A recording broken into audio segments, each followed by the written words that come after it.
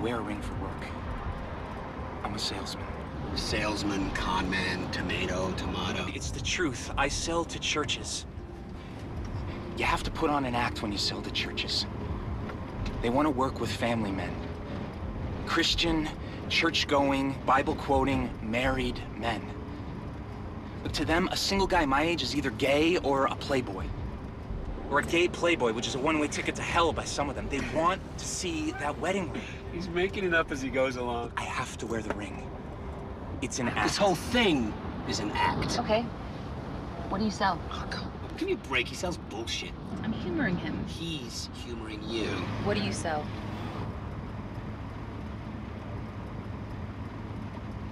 Holy water. Holy shit. It's a real business. It's Genesis Holy Water from the River Jordan. We, we bottle it in the Holy Land and then ship it to Kentucky. It- there's a huge market for it. I do the legwork. I go to churches and I give them the sales pitch. Okay. Let's hear it. You want to hear the sales pitch? Like your life depends on it. Well, I usually set up a meeting. I don't want to hear how you do it. I want to hear the pitch. Pretend like you're Greg Newman. patron saint of liars. Like you're Greg Newman from Santa Rosa. I am Greg Newman. Okay, that's good. See, it's feeling more authentic. It's more convincing. I'm not feeling it. Shut up. All right, look, I'll, okay, I'll give you the short sales pitch, but you know, I, I change it. It's, it's different if you're Catholic or Baptist or, or Methodist. Work with Catholic. Catholic. Okay.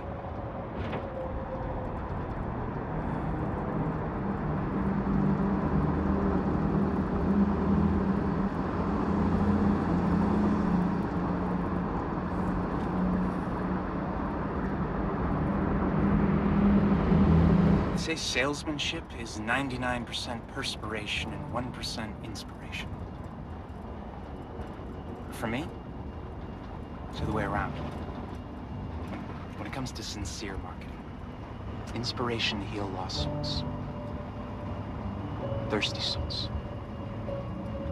You see, they quench their thirst with the wrong substances. They sell supplements for everything today, but they still haven't cured deficiencies of spirit. What folks need is vitamin water of a much greater nature. I submit to you that every Catholic family should have holy water in the home. And it is the role of the church to put it there. Some people say the church has fallen from grace. No, sir. That's a lie. They say there's a crisis of faith. I say there's always been a crisis of faith. There's too many forces working against the side of heaven.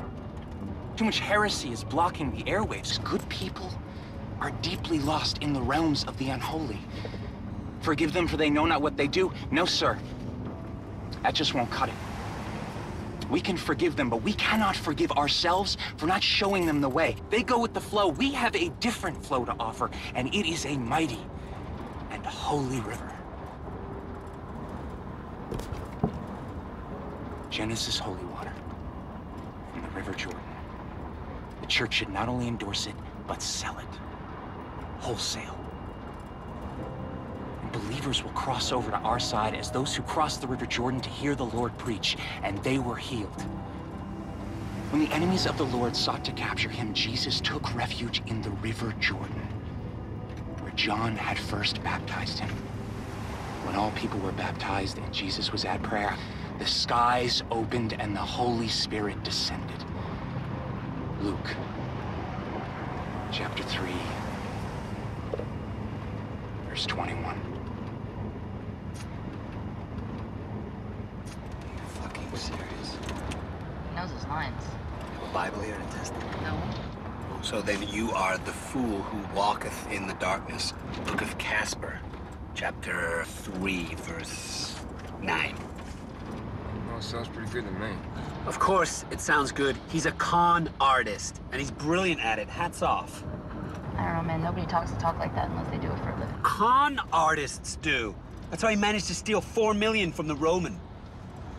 You can Jesus me till the holy cows come home. I ain't buying it for a second.